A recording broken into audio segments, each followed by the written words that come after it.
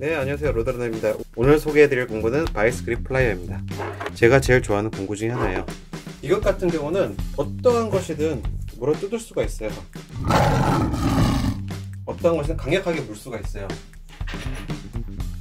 자 어떠냐 하면은 처음에 이빨이 물려있죠? 이것을 돌려서 풀어주세요. 풀렸죠? 자 벌려줍니다. 자 요것을 머리를 물을게요. 봅니다. 자 지금 너무 덜 벌려서 다치지가 않나요? 않는 상황이에요? 자 그러면 이것을 풀어줍니다. 여기요. 잠시 이렇게 놓겠습니다. 풀어서 어느 정도 되면은 딱 됐죠? 이거 이렇게 물면은 절대로 안, 빠, 안 빠집니다.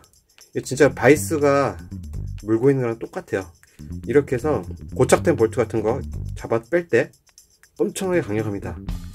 제가 제일 좋아하는 공구 중에 하나예요. 즐겨 쓰고. 엄청나게 강한 강도로 볼트를 잡을 수가 있습니다.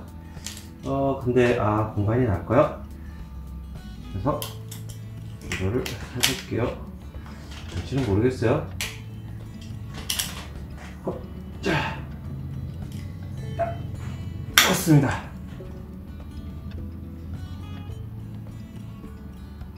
일단 뭔가 움직이는 것 같긴 해요 음.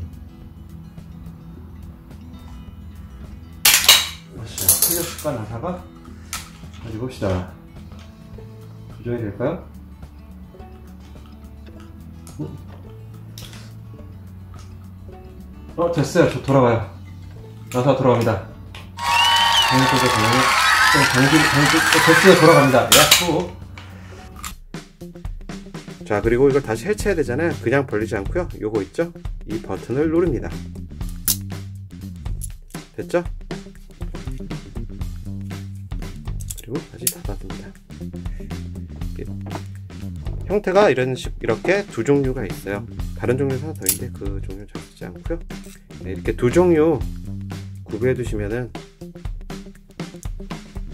이렇게 두 종류 구비해 두시면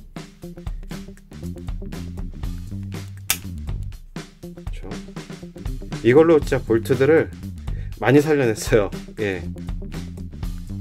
정말로 정말로 좋은 공구입니다. 이 공구가 20년 됐어요. 예 그럼 이상 로드런이었습니다